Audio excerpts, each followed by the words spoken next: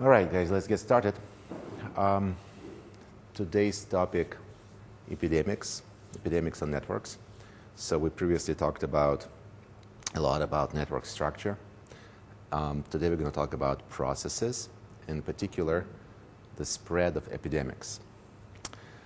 Now, before we jump into jump into epidemics on networks, we'll talk about in general epidemics models and those models goes back to like 1920s, 1930s. Um, but they're the basis for epidemic type of models on networks. And so we're going to start with those. Uh, they're called compartmental epidemic models. Have nothing to do with networks. So we'll first do that, and then uh, we'll switch to and go and talk about uh, what's called probabilistic network models and then we'll talk a little bit about simulations, so how to simulate those things. All right, so that's, that's the plan for right now. Okay, so uh, we're going to start with this, what's called mathematical epidemiology, right? And it goes back to the, fundamental paper by Kermack and McKendrick, 1927, right? Pretty much like 100 years ago. Um, but it's pretty much they, they, they started this whole field of mathematical epidemiology with this paper. And uh, we're going to just you know, learn um, very simple models that were proposed in that paper. And then we'll see how we can actually extend them to um, networks. And so the, the, the, model they proposed were called uh, deterministic compartmental models. So the idea is the following. So you have a population, right? Um, and uh, you might get a few individuals in that population who are infected you know, with some disease. I don't know, think about flu or whatever. So then the population is literally has two parts, right? Those that are infected and, that, and those that are susceptible to infection, right? They're not infected. So then people who are infected interact with people who are susceptible to infection. And where there is some probability, there is some chance that on every interaction, the infection spreads for those who are infected to those who are susceptible. And um, you know, that happens by chance.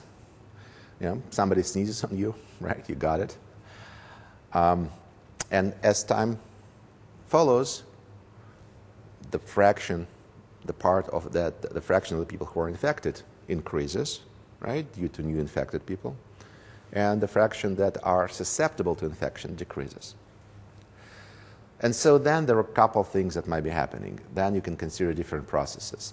So one process could be that um, those people who are infected, right, they're sick, like with flu, they actually recover and then move to the part you know, to the people who are again susceptible.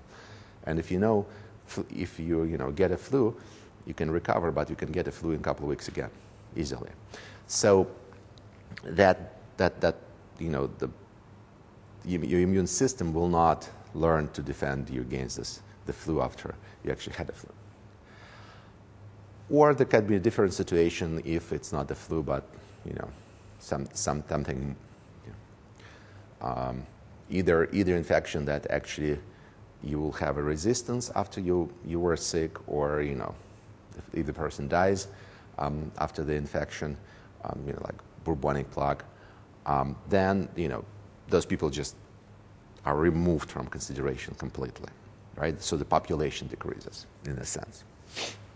And so again, the idea of the model that you have those groups of people, right? The infection sort of goes from one group to another. People, because of this, migrate. Uh, you know, move from group of susceptible to infected or from infected to susceptible. Um, and the, the major assumption is that it's what's called complete mixing or fully mixing, which means each person interacts with each other person within those models. Now, it's clear that this is, you know, false assumption, right? In the real life, it's not happening that way. But, you know, again, back in the days, that was the first model and uh, actually, surprisingly, it works surprisingly well. And so that's the assumption. Now, um, as I mentioned, within this model, there's really three classes, right? Three compartments of people, people we consider. It's those susceptible, those are infected, and those that are recovered. And depending on the model, we can either look on um, you know, two of those, like susceptible infected, or all three type of classes. And we also don't take into account any other sort of social issues like you know, birth or death or migration due to like other reasons except for this. Right? So it's again, it's a very, very simplified model. So, a little bit of math and a little bit of differential equations. And they actually good here. They, they allow you to describe the model. Um, as I mentioned, you know, the people from susceptible group can get infection and get infected, right? If you have some, if you infected people, they can infect, you know, the entire classroom. But the total sum of the people, of course, who are susceptible and who are infected doesn't change, right? It's the, the entire population. And what we can try to do is we can write an equation, the sort of the, the, the equation that tells us how the infection, how the number of infected people evolves with time. And so if we think that at some moment of time there is i as function of t number of infected people, then after time delta t, after a little bit of time, we can actually see how many it's going to be. So it is the, the people who were infected at the previous moment of time, plus number of people who got infected during this time period delta t. And here, uh, what, you, what you see here is just the product of s and i, y. Well, because the number of people who get in, each person in, from infected group can contact each person from uninfected group. If there is S people in uninfected group and I people in infected group, well, that's total number of pairs that can form. And if beta is a coefficient that tells you the probability of transmission of infection during the contact, that's how many people will get infected on average uh, during the time delta t. And that's pretty much it, right? So you have number of people that were infected at time delta at time t.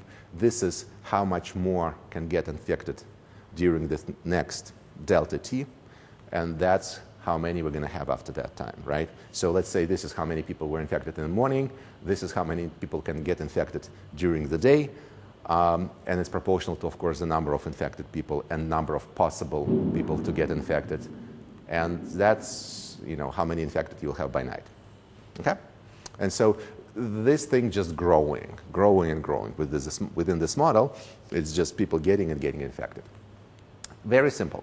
Now, what you do is you take this minus this, right? You take, put this on the left-hand side, divide by delta t. That's the definition of derivative. And so di dt is then equal to this. And that's your very, very simple differential equation. Now, in fact, you don't even have to do differential equation. You can solve this um, the way it is written by just sort of consecutively going step, stepping through step, step, step, but it's easier to write it as differential equation. Um, and then um, what we're going to do is we're going to also change a little bit notation and go instead of just absolute value of people, we're going to look at the fraction of people, which is the ratio of absolute value to the total number of people. And so at the beginning, pretty much everybody is healthy, and so um, this is very large and this is small, but then you know, it decreases. So if you do this normalization, um, the fraction of people who are, who are susceptible to infection plus the fraction of people who fact it has to be equal to 1, you know, because total 1. And you know, this is the equation that we just wrote on the previous page. Now, we also need some initial conditions. In order for infection to spread, you need to have a few people who are sick at the beginning of of the process, right? Otherwise, you know, there is no way for infection to get in. And so you have some initial conditions and time equals zero. There is that many people who are infected. And then this is a differential equation. Right? How I got it? Well, I just took this equation and plugged it in, plug in this formula. So that's our differential equation. Now, the reason I ask you if you remember about differential equations is like, okay, when you see this, do you know how to solve it? Any ideas? Any recollection?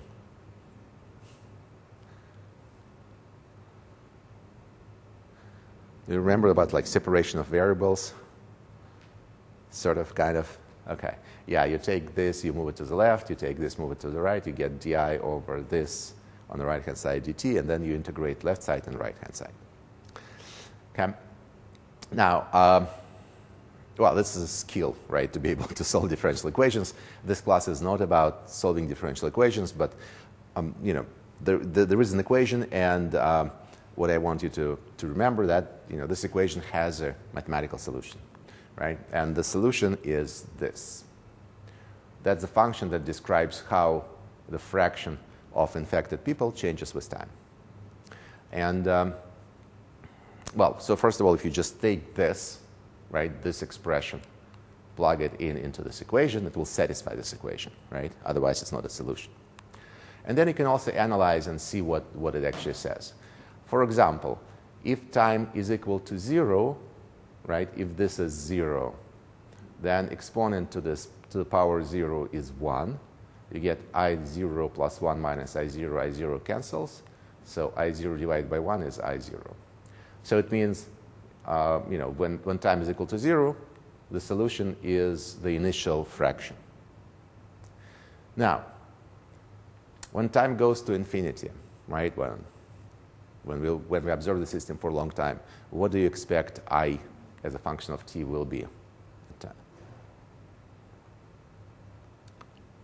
let's say, you know, we expect that everybody will get sick, right, because this infection spreads. And so if I is a fraction of infected people, what, what is it equal to then? To what? To 1, right? It should be, become 1. Let's see if this actually, if the formula does it. If I take this t and send it to infinity, this exponent to the minus infinity, what is this? Exponent to the minus very large negative number. 0, so this will become 0. You have i uh, as a function of t is equal i0 divided by i0, which is 1. So at least this solution makes sense, right? It satisfies our conditions, and it shows you like, okay, well, that's sort of the shape, how the infected people, as the time progresses, you know, how infection will, will take over the room, right? Okay. It's a very simple model.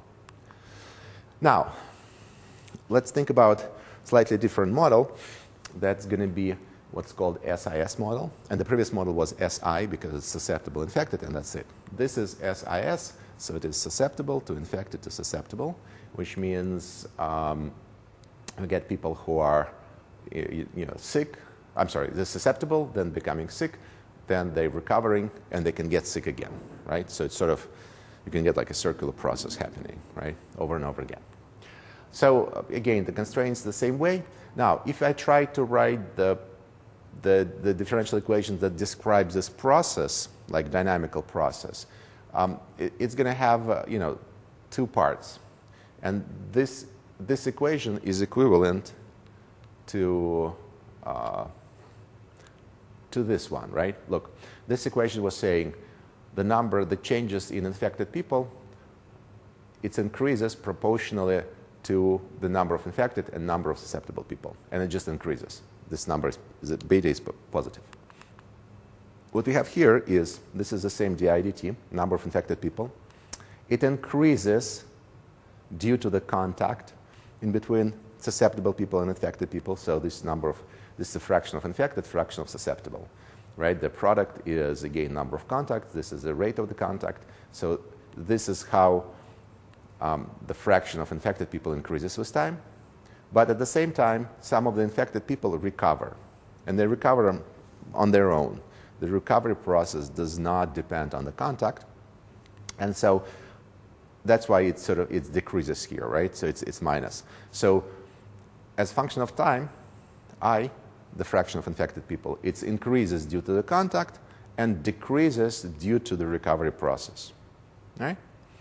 So now you have those two competing uh, processes happening. You know, one is infection spreads due to the contact, and then infection decreases due to the just simple recovery process.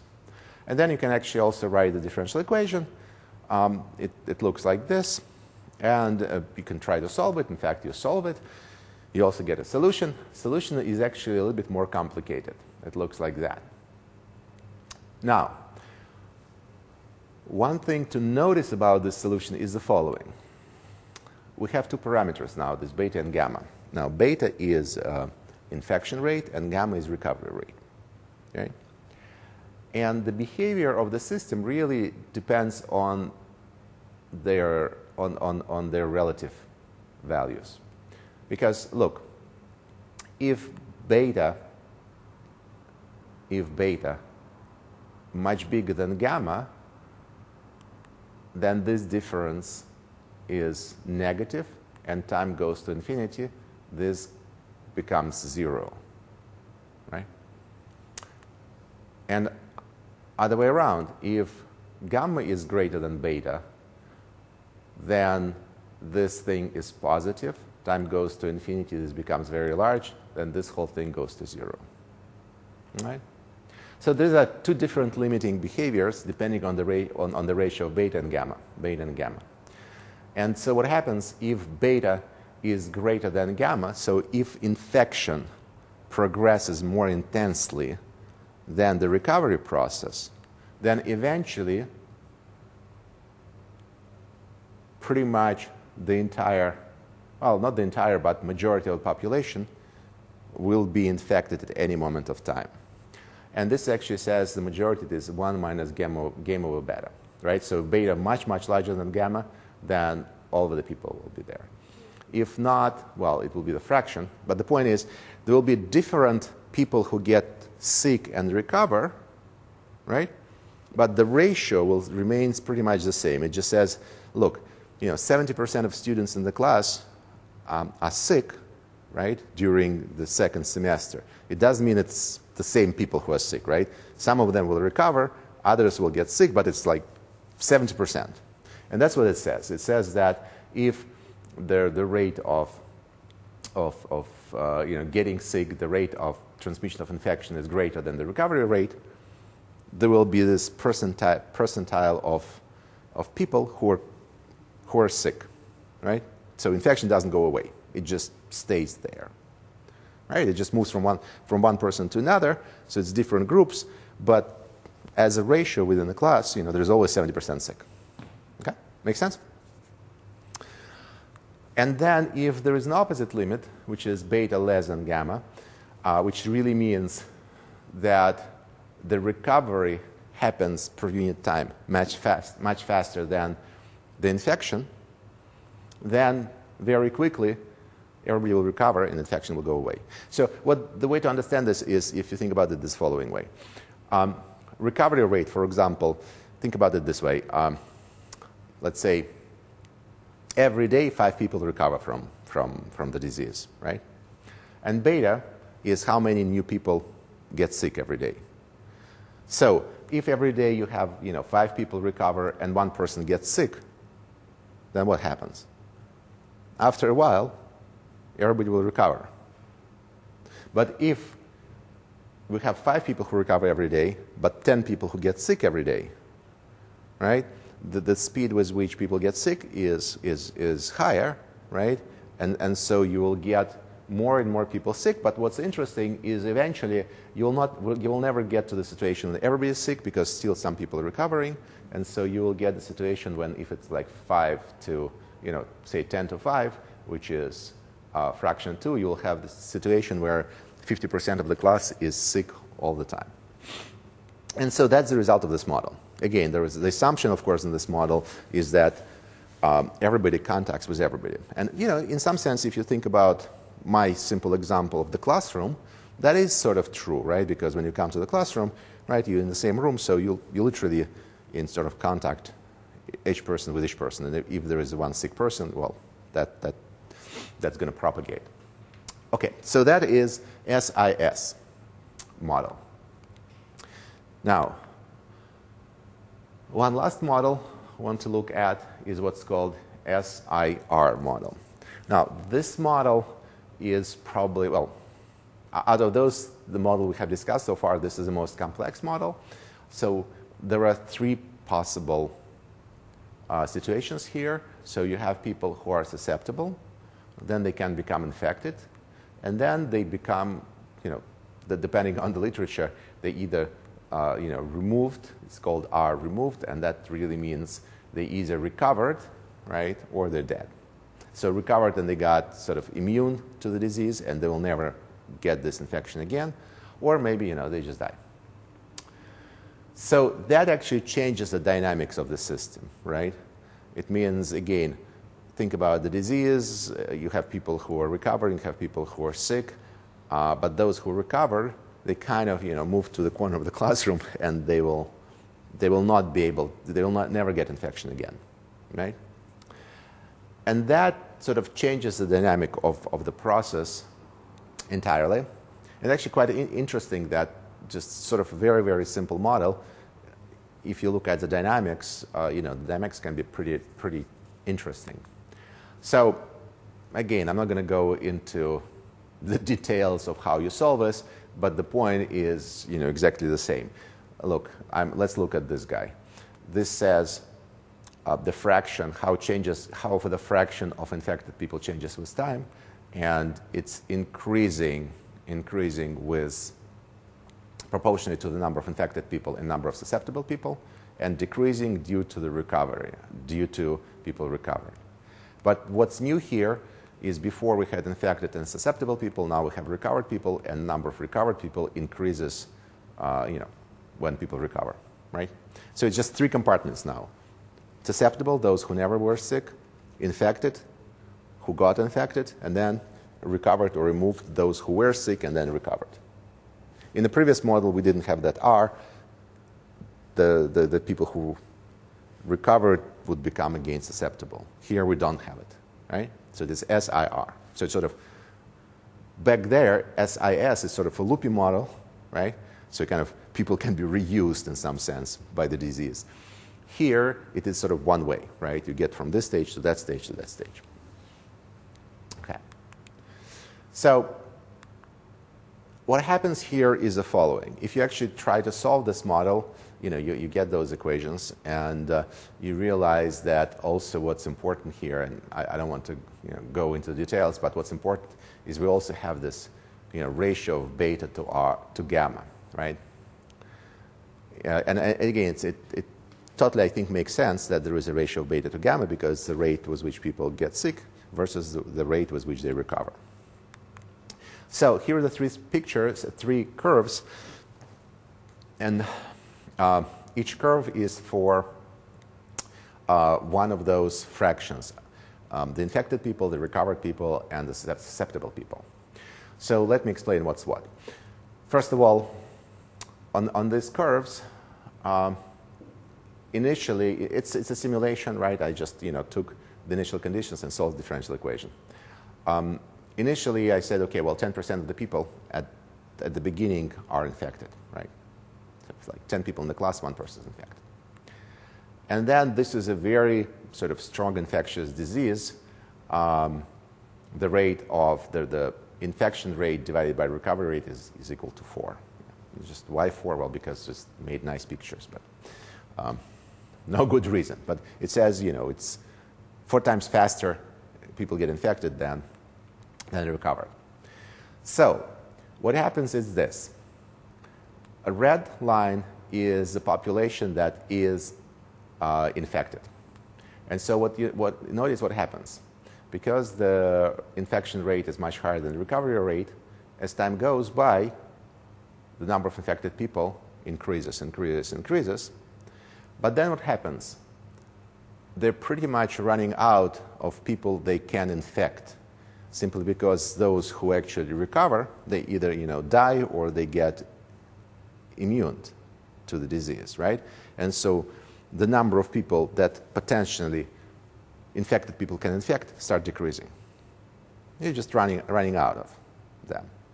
And so the number of infected people decreases with time and disappears. If you think about or read the books about like the way you know the plague went through you know, cities, right? It started uh, with small number of people, then the number of infected people skyrocketed, right? But then you know people start dying, and and uh, you know the number of infected people decreases with time until everybody's dead, right? And so, and that's sort of this progression.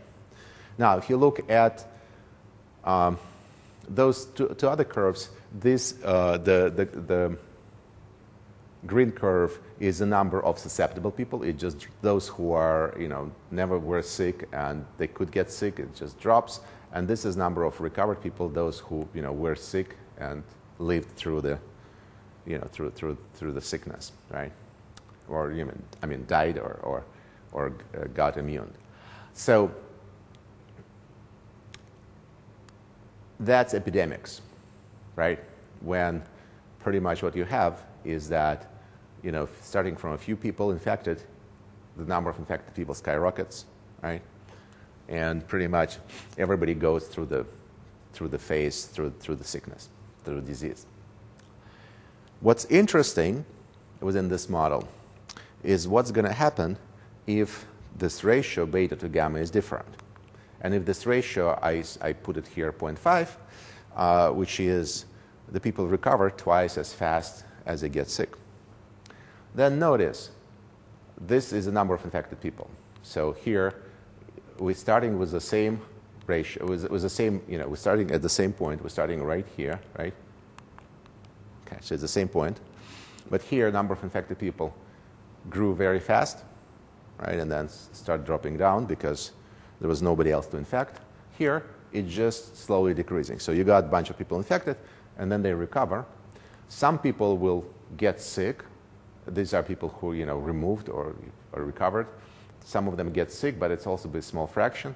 And the susceptible, which is that that could get sick, it drops, of course, with time, but then levels out, which means there is a big part of population who never get the disease. Right? So these people who never got any disease.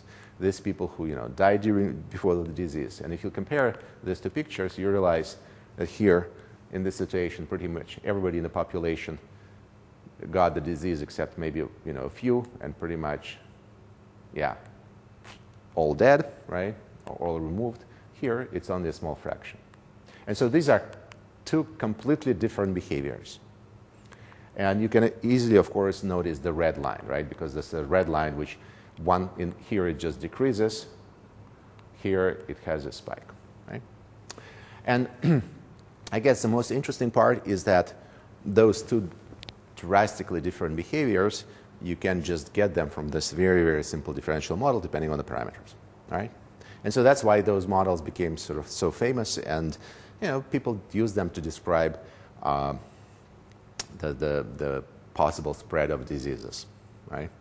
And so it's really um, the reason. I mean, the reason again this model I used, it's not just because um, you know you can you can calculate those things, but because these are the parameters, right, that in some sense you can control, right? So the recovery rate you can probably control by medication, right? Beta, the infection rate, you can also either control by medication or you can, for example, reduce the number of susceptible people by doing some type of immunization, right? Or by, you know, making sure that the contacts, the people do not contact each other, and that reduces beta. So there is some, there is some sort of ways you can control those parameters, and so you can actually model the outcome, right? You can calculate, you can try to figure out how many, you know, how much you have to restrict interaction between people, such that beta drops such a way that you're not get, you're not going to get um, this spike, you're not going to get epidemics, but disease just dies out, right? And so what you need to do is you need to make sure the ratio beta to gamma gets below 1, right? Again, remember, uh, beta is how many people get infected in a unit of time, let's say, you know, during the day, and gamma, how many people get recovered. And obviously, for, for, for epidemics not to exist, number of infected people per unit time should be less than the number of recovered, right? Um, and you can actually you know, I'm just, I just hand wave this explanation, but there is a you know, mathematical, um, you, pretty much you can take the equation, you can derive that constraint. And we'll try to do it right now quickly. Um, the idea is the following. So this is the equation that describes um, the, the changes in this recovered population, the blue line, dr dt. Um, there's this gamma parameter, and uh, pretty much all the parameters, beta over gamma and r and r and r here. It's a differential equation. r is a function of time. So if you look um, at these pictures, you realize this, again, r is this blue curve. It's a blue curve, right? Recovered people or removed people. If you look far to the right, when time goes to infinity, this is a flat curve.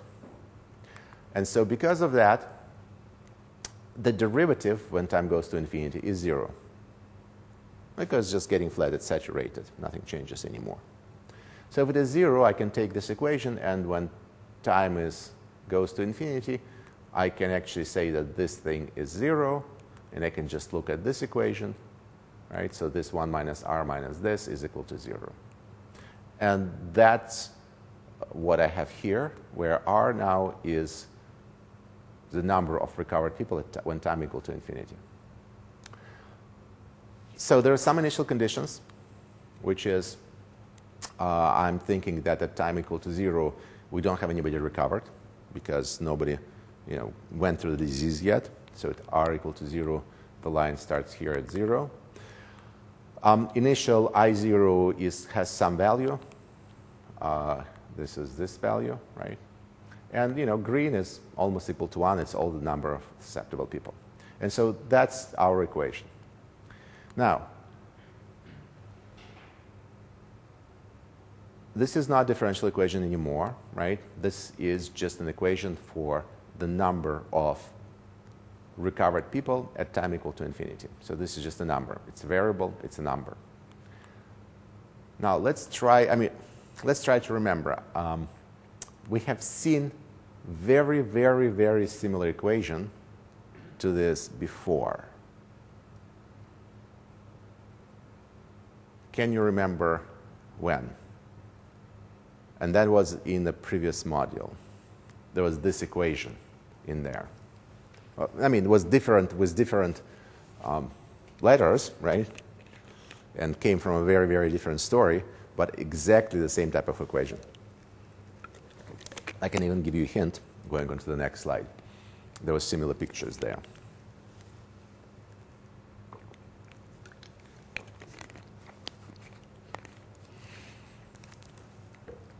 Do you remember uh, we talked when we talked about models uh, for networks? There was this Erdős-Rényi random graph model. Remember? So something random graph, right?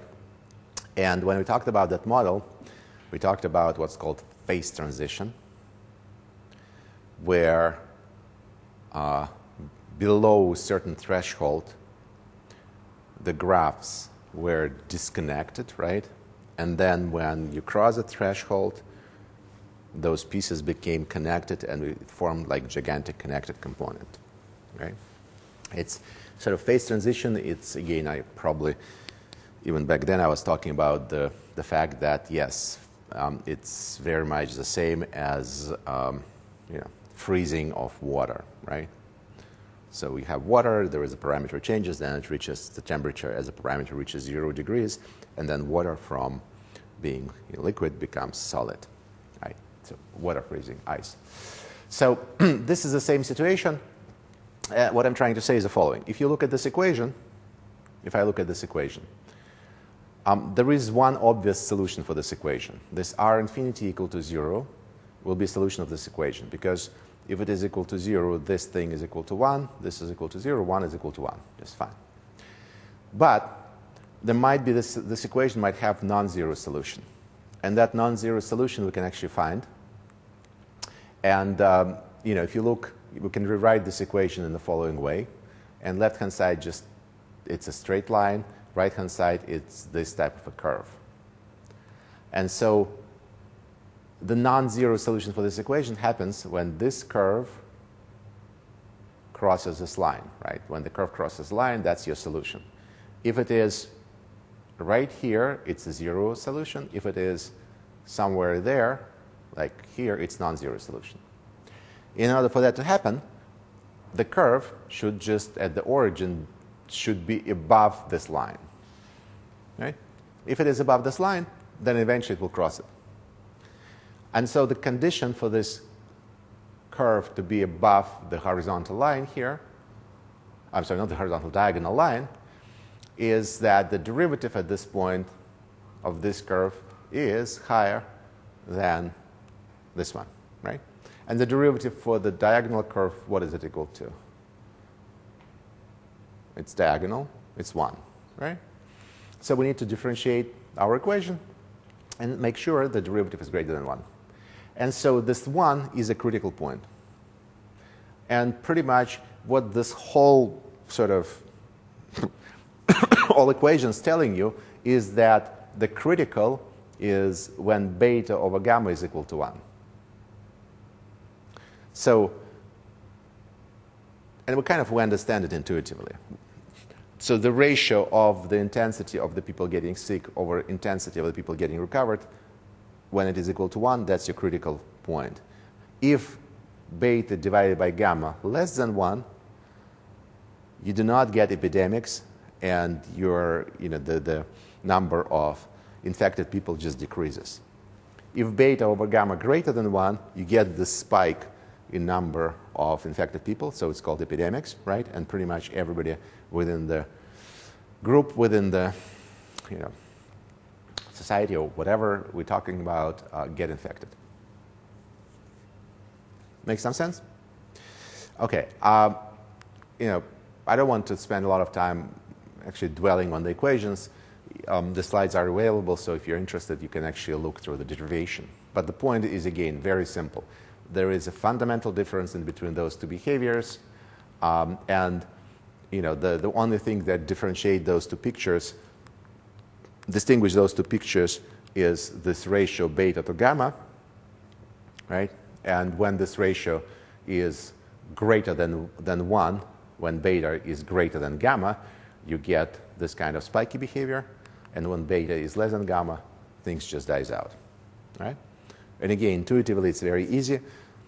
When the rate of, inf- of infecting is increasing the rate of recovery, you know, when per day more people get infected than recovered, you get epidemics.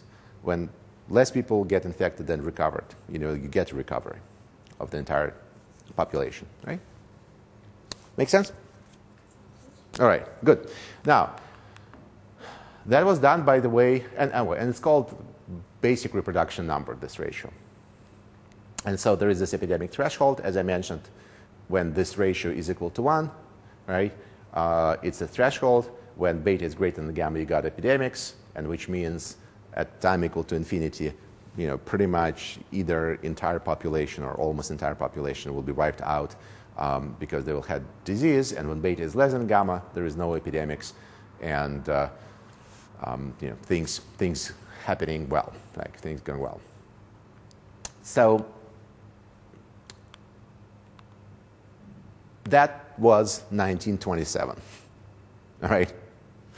So that model is, you know, almost 100 years old, and um, obviously, um, you know, for right now, we kind of realize that life is much more complicated than that, right? There are many more processes.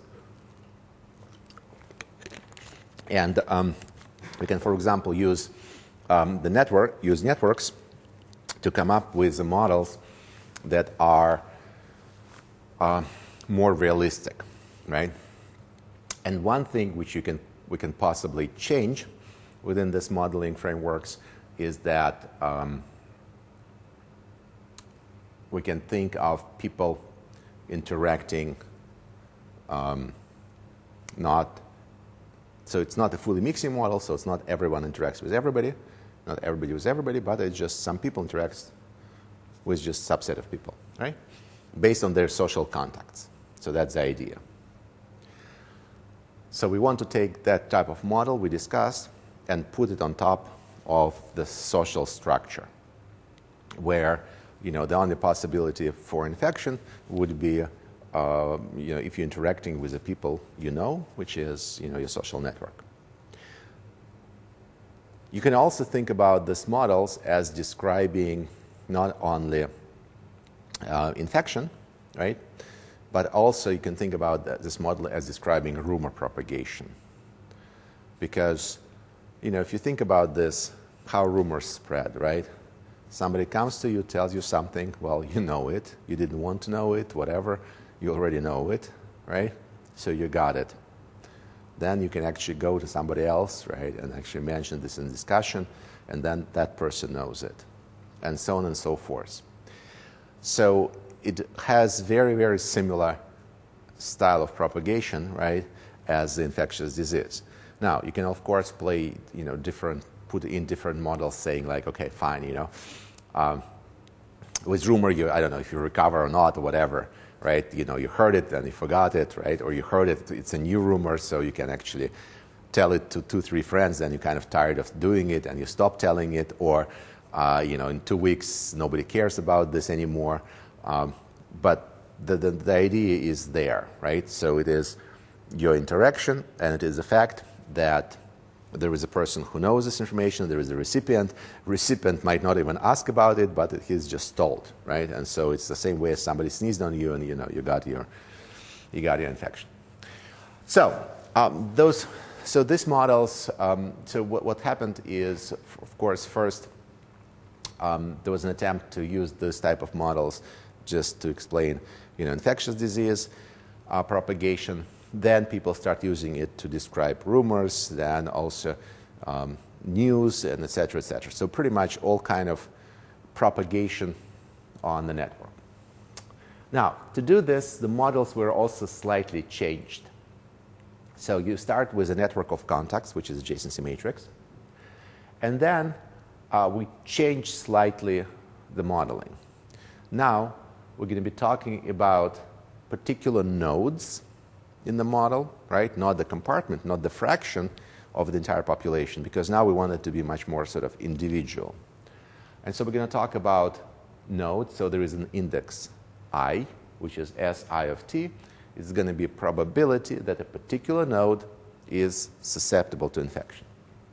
And Xi of t is a probability that node is infected, and uh, Ri of t, the probability that node is recovered. So it's the same kind of you know, the same story, the same approach in terms of you know, three classes of states, but now it is every node has a particular, particular uh, you know, can be a particular state. Now, since these are probabilities, the, they have to add up to one because the node either susceptible or infected or recovered. We again keep the same notation uh, infection rates so it is a probability to get infected on a contact. But the difference here is you can get infected only through a neighbor, right? In the previous models, in these classical models, you can get infected from you know, anybody in the population. Here, you can only get infected through a neighbor. And then there is a recovery rate, which is pretty much the same. It doesn't depend on your neighbor, you just recover with time. And so we go a little bit from this deterministic to probabilistic description. So we're going to talk about probabilities. And we think about the networks where all nodes are reachable from each other, right? Because if the network is disconnected, there is, you know, the, the infection will never jump through, through this. And we think about this as undirected network, um, you know, just for conveniences, right?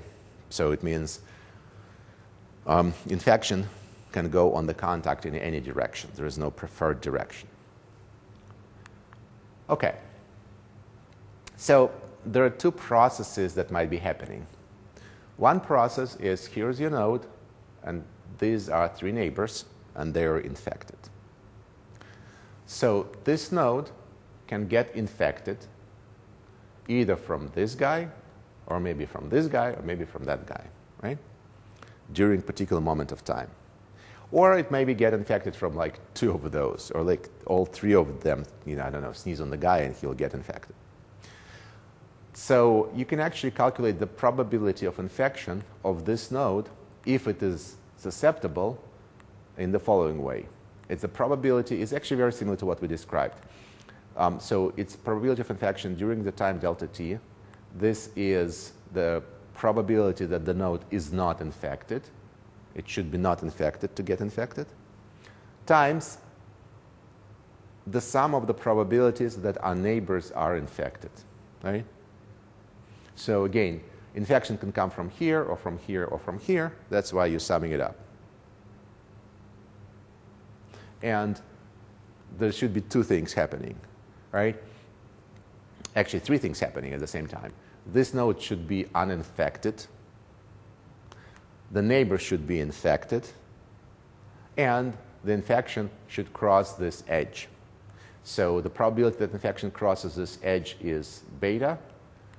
S is a probability that the node is not infected. X is a probability that its neighbor is infected. And the sum is over all the states of its neighbors. Make sense? Formula. Okay, that's infection. Recovery, this node recovers. Uh, you know, when, when the recovery has happened, he doesn't care about its neighbors. So it just recovers. Um, and the probability of recovery is the probability that the node is infected times the, the recovery rate. So that's, that's pretty much it. So um, nothing fancy here. Okay. So now we're going to write, we're going to pretty much follow through the same steps as before, as in the previous models, but we'll just adjust it to the network and to this setup. So we, first we start with this SI model, from susceptible to infected. Now, here there is, notice there is always index i because that means, you know, we're, referred, we're referring to a particular node, right? It's not just um, a fraction, it's just a particular node, right? So for any particular node, for any particular node, the probability of the node to be susceptible or infected has to be equal to 1. Well, simply because the node either susceptible or infected, right? Now, there's an infection rate, probability to get infected in a unit of time. So it is a probability that the node is infected. And then we're going to see what happens, you know, after, say, a minute or an hour or a day. So that's the state of the node at the beginning of this time interval. Then the probability that it's got infected during that, that time interval is the following. This is the probability of that infection spreads across the edge. This is the probability that node is susceptible to infection. This is adjacency matrix that tells you the connect, connection of this node to the neighbors. And this is the probability of the neighbors of being infected. So it's exactly the same story as we just described in the previous slide. I just put the things together. And so the probability that the node is infected at time t plus delta t, it's the probability of the node to be infected at time t, plus the probability that during this time delta t, uh, infection gets to it. Right? So that, that looks very much, this equation looks very, very much like the one we started this lecture with, except for this summation and this adjacency matrix. So then we're going to get this, and which is actually not a one equation, but it is a set of differential equations. Because remember, for um, on, on, a, on a when we started our original model, we talked about just a fraction of the population, and there was like one equation that describes infections, and one that recovered, and one that's susceptible.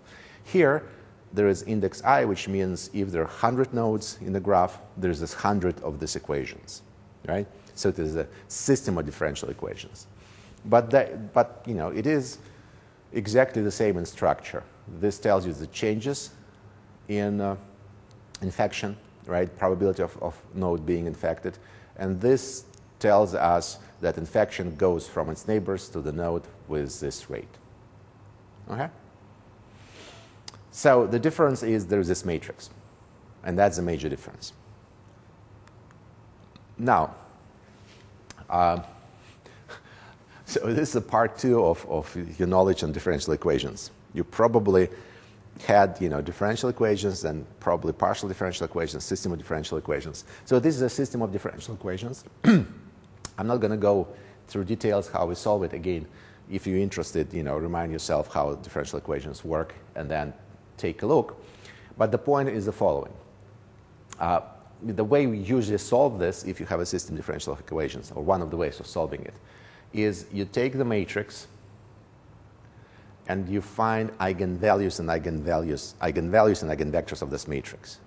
And then you look for the solution in the basis of those eigenvectors. Do you remember anything like that?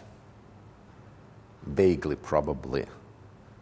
Sort of. If you have, have you guys ever solved system of differential equations? There are probably some problems on, on uh, I don't know, on, uh, hmm, where would you see this? Uh, somewhere in math, I guess, in differential equations, course of differential equations. So the point is, uh, what you try to do is you try to find the solution as a linear combination of eigenvalues and eigenvectors of the matrix that describes this, the, the system. Uh, I will stop at that depth, right? And if you try to do this, literally, and uh, you know the, the way you do it is you again you write your solution as a combination of eigenvectors and eigenvalues. And eigenvalues go here in exponent.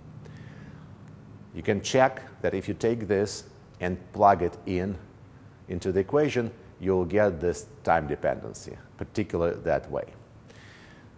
Now, the thing I want to emphasize here. Remember when we looked in, in, in the, let me just actually come back to this SI model right here.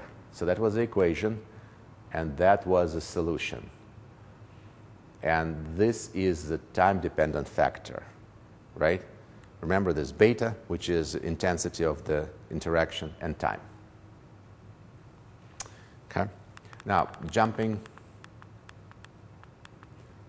to here, there is beta, there is time, but there is something else in here. And the something else is an eigenvalue of the matrix. And so what you can show is, of course, you know, if this is time evolution, then the, the, import, the most important eigenvalue is the maximum eigenvalue, which is the largest one, right? And so the way the equation evolves is based on the largest eigenvalue. So which really means that the growth of infection within the network depends not only on beta now, but on the product of beta and the first eigenvalue of the equation, of, of the matrix. Now, why is this important? Why do I keep pushing on this? Well, the reason is because when you have a matrix, right? Remember, graph is represented by matrix. So graph represented, your network is represented by the adjacency matrix. So the adjacency matrix contains all the information about the graph. Right? So pretty much everything that is we know about the graph, it's in the adjacency matrix. What's interesting, if you take matrix and decompose it into eigenvalues, eigenvectors, then you can, you can actually recover the matrix completely from them. So eigenvalues and eigenvectors, they also contain complete information about the matrix. So those lambda, they do encode information about the matrix or information about your graph. And so they somehow encode connectivity of the graph. And different graphs will have very different lambdas. And so that tells us that within this model, the rate with which infection spreads on the network really depends on the structure of the network and not only on the uh, intensity of the interaction. It depends on the product of those two. Now, the way to understand this is also, I think, quite intuitive. Think about the graph, for example, that has, like, you know, for example, there is a connection, you know, a lot of connected nodes here, a lot of connected nodes here, and then there is, a, you know, one sort of bridge, like couple edges that connects them clearly that will be a bottleneck for infection propagation, right? So infection will have a very hard time to cross this bridge. So you have people in this room, you have people, you know, in the other classroom, and there is only one person that goes once in a while here or there. He will be the only guy who can actually spread the infection. So structure plays absolutely critical role in the propagation of infection on the networks, and this lambda actually encodes that. All right? Okay, so remember those curves again. I'll, I'll, I'll jump back. So this curve, we started with this logistic growth function. Uh, where infection started from zero and then eventually covered everybody, right? So the same type of curves we get here. These are those curves. The difference for each curve, we have different lambdas. Uh, uh we have different, we have different lambdas, different graphs. So that's what that was different. Okay.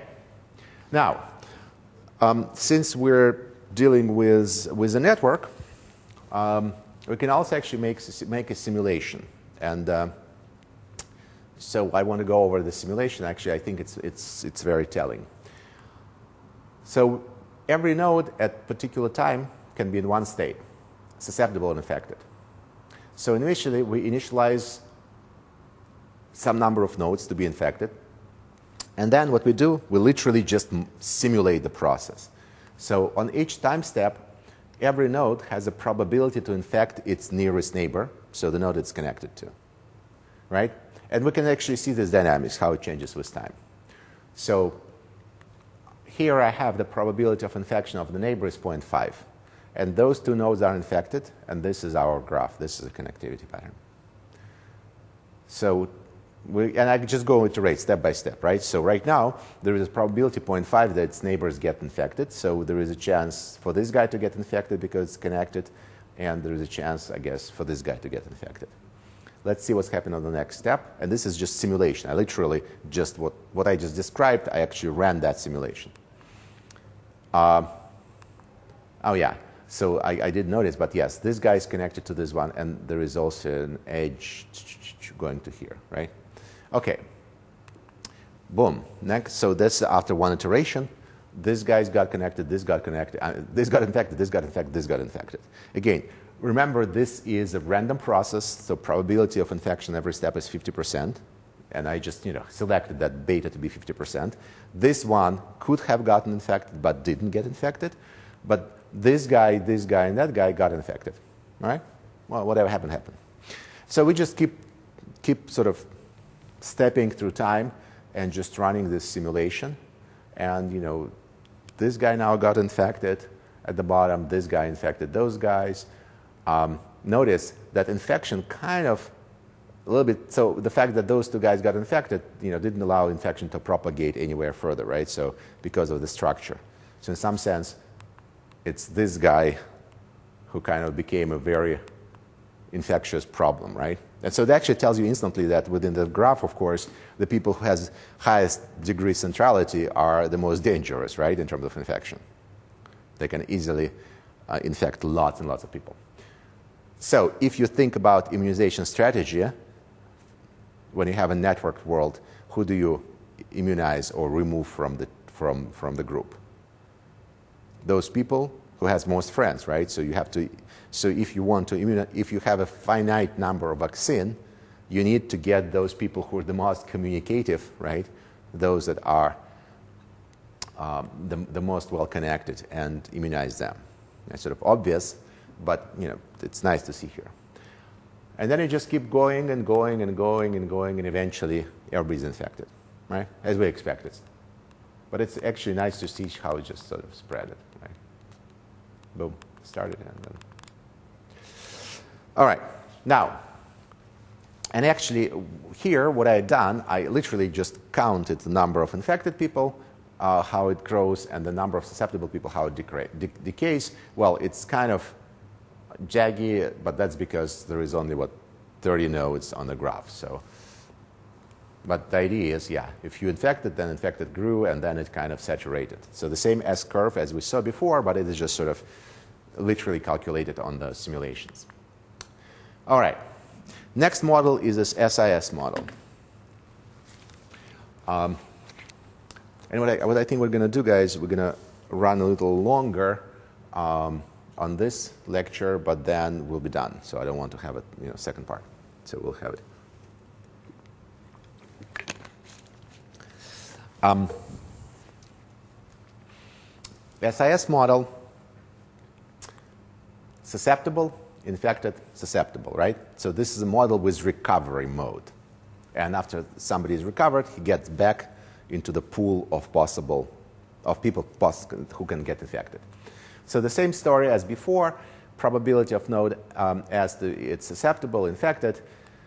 Now we have infection rate and recovery rate. As before, right, there is a sort of two rates that will compete.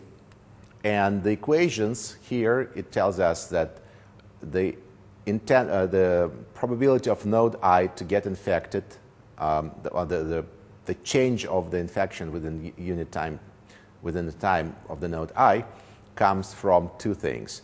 One is if the node was not, probability that was not infected, times the rate of infection, times the sum of all its infected neighbors, probability of infected neighbors. So this is the infection coming to the node from its neighbors.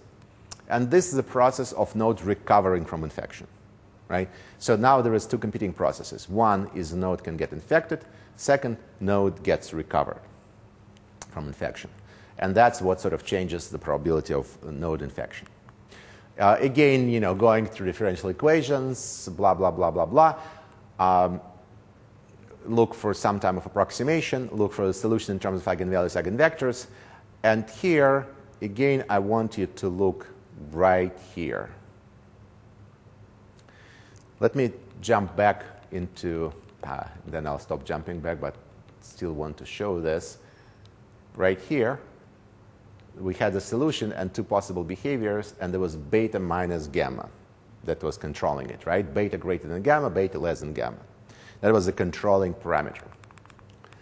Now, when we get to this story,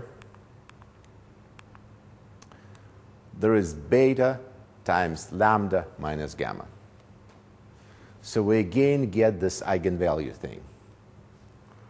And that changes the behavior. Now, all of a sudden, it's not the, the ratio of beta to gamma, it's the ratio of beta times lambda and gamma. So if beta times lambda, great, lambda 1 greater than gamma, then you will get a growth of infection.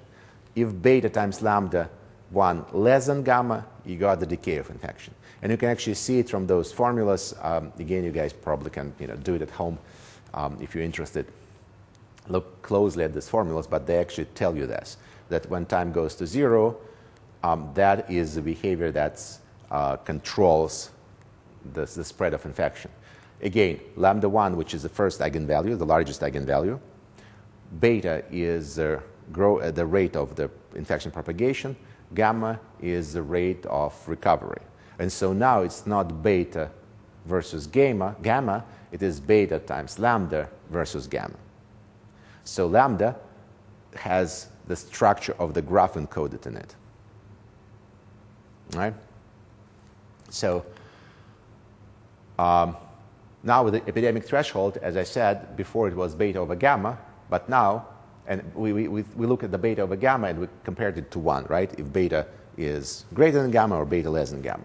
Now it's not just beta over gamma, it is, I'm sorry, it's not 1, it's 1 over lambda 1. 1 over lambda 1, where lambda 1 is an eigenvalue. So it's again, it comes from this fact, right? If you look at this beta divided by gamma is greater over 1 over lambda 1, or beta divided by gamma is less than 1 over lambda 1. So it is lambda 1 that is now important. So we can simulate this. How we can simulate it? Um, every node at any time step again in one of the states, S or I. We initialize nodes with some, put them in some initial state. Some of them are infected. Each node stays infected 1 divided by gamma time steps. Right? So there is few time steps as long as uh, he, he, stays infected. And that number of time steps a node gets infected is inversely proportional to the gamma, the rate of recovery. Right? If I'm saying it recovers um, you know, it takes two days in, in recovery, uh, well, then, you know, that's how, I mean, if, if it recovers, for example, you know, in, in, in half days, in half day, then, I'm sorry, if rate of recovery is, is half day, then it's going to recover in one divided by half, which is two days. Um, on each time step, time step, node has a probability to infect its nearest neighbor and after several time step, steps, node recovers. So there are two processes now getting sick, getting infected from its neighbor, and then recover. And let's see how it, it evolves. So, first thing is uh, those are two parameters, right? Um, so, beta is infection rate, so there's a probability to get your neighbor infected is 0.5, the same in the previous uh, simulation. And tau is equal to 2. It, the node recovers in two iterations. So it gets sick, then two iterations stays sick, then it's recovered, right? And it get again sick, get sick. So the same two nodes are infected. Uh, again, this is a random process, so now that's what that, these are the nodes that got infected. Then uh, notice original nodes got recovered that were infected, right? But some other nodes got infected, right? And then it happens and happens and happens and happens. And so if you notice, we never get the entire graph to be red, right? It's different nodes that are sick at different moment of times, but never the entire graph. And so there is a certain fraction of the, of the nodes that are sick after a while, right? So we started with just these two nodes, and then it kind of spread it, but then there's a certain fraction of nodes that are sick, but not the entire graph, right? And it's different people who get sick at the different stages. And so if I draw this picture and actually I try to calculate this as a fraction as a function of time, well, it's, you know, here it oscillates, but again, because the size is very small of the simulations, but what it says is, you know, the number of infected node increases, increases, increases, grows to the fraction, whatever it is, whatever the fraction is. I can see it here, but, and then it just sort of stays around it, saturated, right? So that's, a, that's what the process happened. Now, but there might be a different situation. Notice what I'm going to do now. I'm going to run the same simulation, but I put beta, the infection rate. I'll reduce it. So it's going to be 0.2. So which means, uh, you know, previously it was 50% chance that the neighbor got infected. Here it's 20% chance that a neighbor of infected node gets infected. And so since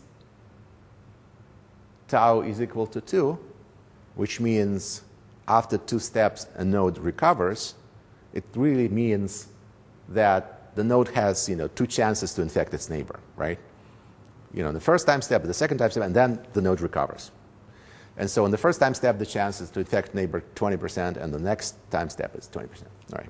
So that's the process. Um, so let's, let's, let's watch what happens. We start with two infected nodes then this guy get infected, then that get infected, then those, and then infection dies. Right? So go back. Oops. If you infected, then infection dies. So the difference was, compared to previous simulation, the difference was in this parameter, right? I changed that. And so depending, remember, if previously on the previous, uh, when, when we talked about compartmental model, it's a ratio of this parameter to this parameter that was important. Uh, here it is this, this, and eigenvalue of this, of the matrix of this graph. That's important, right? And that completely changes the behavior. And if you notice what happened here, yes, there was some infection, and then it just dies out. So the very, very different uh, scenarios, right? In one scenario, you have this infection that just stays and stays and stays. In another scenario, it just dies out. And the difference is, again, in, in uh, um, the ratio of beta versus gamma, and gamma here, it's this parameter tau. Okay, almost done, right, as you can guess. There is one more model left, which is this SIR model. So let's see how that behaves. Uh, sort of how things evolve there. Um, um, we looked at three compartments now, right? It is S, I, and R. Uh, again, node can be susceptible, then it gets infected, then it gets recovered or removed, so it cannot get infected anymore.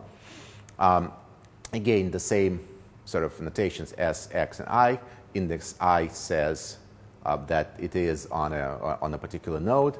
There is an infection rate, there is a recovery rate, um, there are equations um, you know, the infection equation stays the same, which is the probability of the node to get in, uh, the, the, the change of the probability of the node infection comes from one hand being infected from the neighbor, on the other hand being recovered, uh, be, uh, you know, being recovered.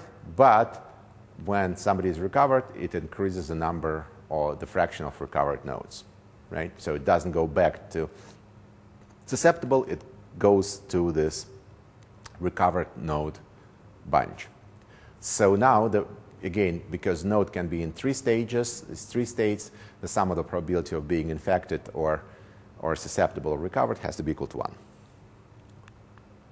And you know, we can put together differential equation uh, the same way as before we can analyze it. Again, I'm not going to look, not going to go into the details, but the idea is again the same that here is your um, your matrix and it is differential system of differential equations and we look for the solution in terms of eigenvalues of the matrix.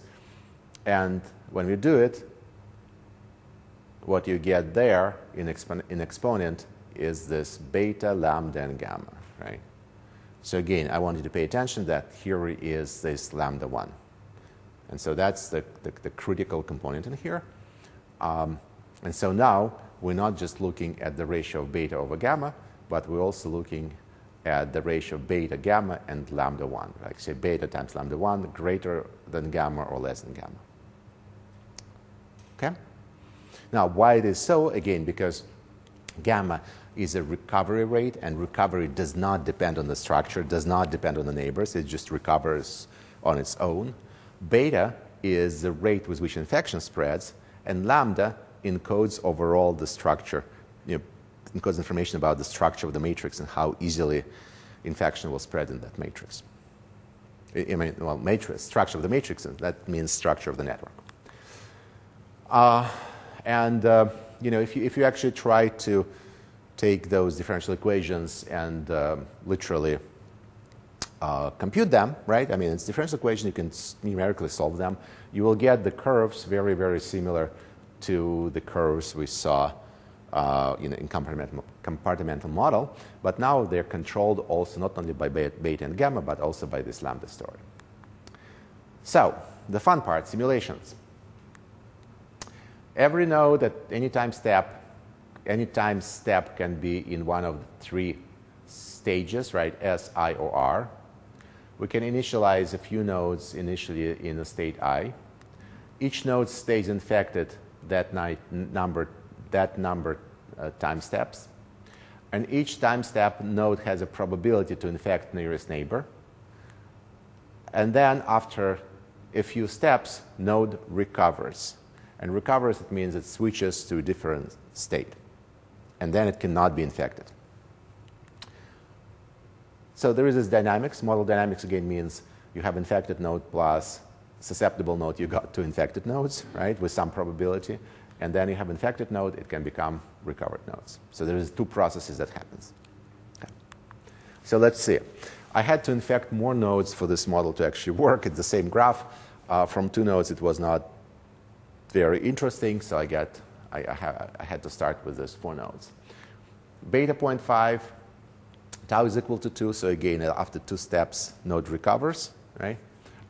Um, let's see what happens. So it got, you know, neighbors got infected. So that's where we're starting now. Neighbors got infected. And the green ones that are recovered now. Okay?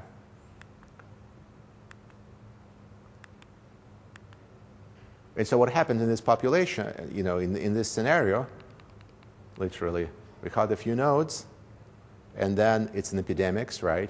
The number of infected nodes with time grew, right? There are like a lot of them, and they eventually cover the entire graph and if there was a you know plug, then everybody is dead. Um, or you know if it is some, some other disease, well, you know. But what happened is everybody in the population got this disease. Now, um, where did it go? So, gone. And so if I actually, literally again, what I can do is I, at, at every moment in time, like right here, I just calculate, I know there is 32 nodes, I calculate how many green nodes we have here. One, two, three, four, right? Uh, five, right? 5 over 32 is a fraction of the green nodes. 1, 2, 3, 4, 5, 6, 7, 8, 9, 10, 11, 12, 13. 13 over 32 is the fraction of red nodes, and then whatever is left, fraction of blue nodes, right? I just calculate those numbers on every step, right? Calculate those ratios. And that's what I plot here. At every step, this is the fraction of red nodes. And so you notice that number of red nodes increased, reached maximum, then decreased because there was nobody to infect, and then died out. Number of um, susceptible, number of infected nodes, number of susceptible nodes. Right? So the, the, the, curves are very, very, very, very much similar to those we saw in the very original model 1927. The only difference is we are running this simulation on the uh, graph and we're taking into account the fact that those curves will change due to the graph structure. So on different graphs, they will look differently. And now I'm going to run it with a different parameter set. I reduce this, the, the intensity of the infection, right? So the make infection a bit weaker, and then see what happens. Okay, well, nothing actually happened, right? Notice. Um, bah, bah, bah, the same node, we're starting with the same infected nodes. They, they recovered infected neighbor, you know, another neighbor, another few recovered here and there, and then that's, we're done. Infection is gone. So what happened in this population with this infection rate, which just like a little bit less than the previous story, um, there's only, you know, what, one, two, three, four, five, six, seven. One, two, three, four, five, six, seven, eight, nine, nine got sick, right? The rest of the population never seen the disease. And what's interesting, the difference in, in between here is uh, I had like 0.5, now it's 0.2, right? So I just changed um, the rate of infection you know, slightly, and there is a dramatically different behavior of the system. In one case, you got the whole population wiped out. In another case, you got just a few nodes infected, right? So and that's sort of the curves, the way we, you know, we, we, we draw them before. Um, this is the ratio of susceptible people infected. Uh, I mean, this is, the this is the number of people who were susceptible, right? It just decreases, but not everybody got infected. This is the number of people that are recovered. These are people who were infected. So very, very similar curves. Um, but the, you know, the, the message is simple. When you look at these infections and whether you you know, run one model, another model, it, it doesn't really matter. What matters is uh, parameters, right? The ratio of the infection rate versus the recovery rate. And if you run them on graphs, what's important is the graph structure. And the graph structure is encoded in this eigenvalues, right? Okay, final couple minutes. Um, you know, as we described, as we discussed, um, there are obviously the structure plays a critical role, right? And um, we can make the simulations, for example, the one I just done, we can make them on the different graphs, right? We can make them on a random graph, on a lattice, on a small world, on, on, you know, on scale-free graphs. Like, look at those pictures. We can actually take the model, right, and run them on all those graphs. Let's say we're right now thinking about um, the model that we're thinking about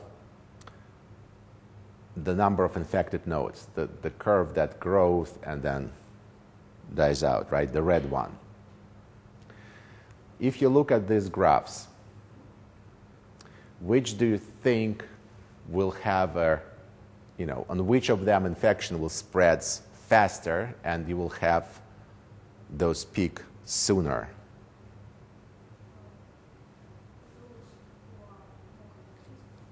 More compact? I mean, this, those who are more connected, right? So probably, probably like, you know, small world can be. So this probably will be the slowest, right?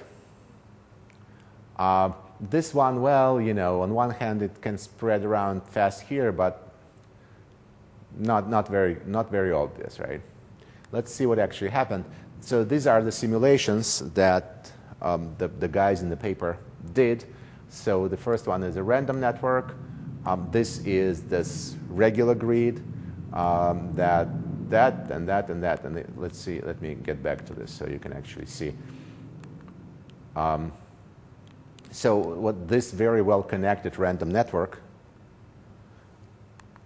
make a very fast and very strong peak, right? Um, this one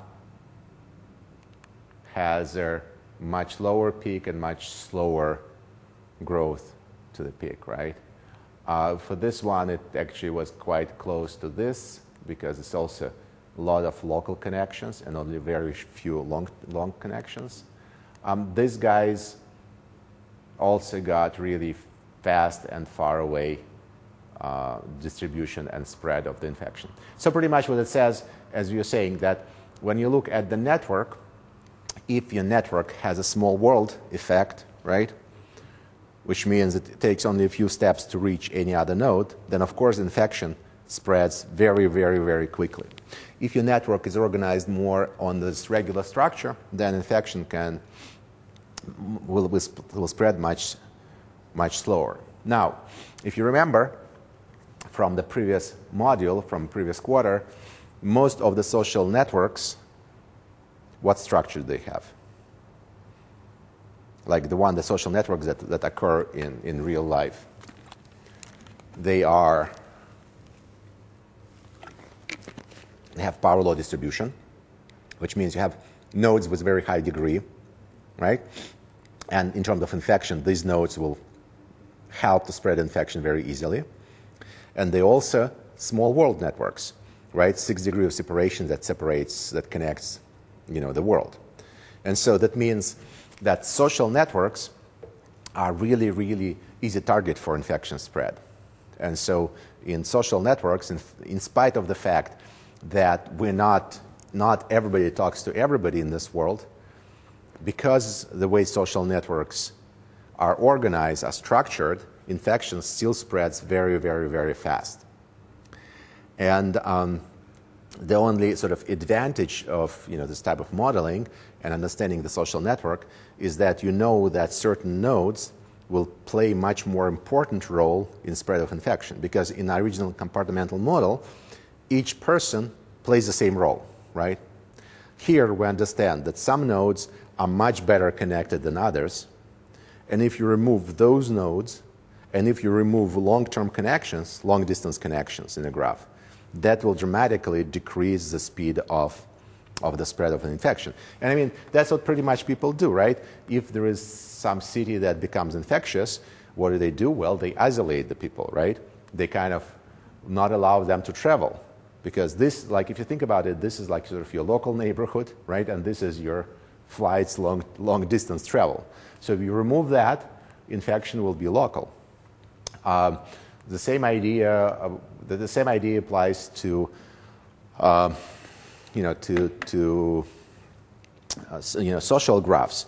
Um, with so, uh, you know, again, if you have a, somebody who is a you know, party goer, that person probably knows a lot of people, goes to a lot of places, or like some salesperson who can, contacts a lot of people. These are the people who need to be isolated in the case of, of infection.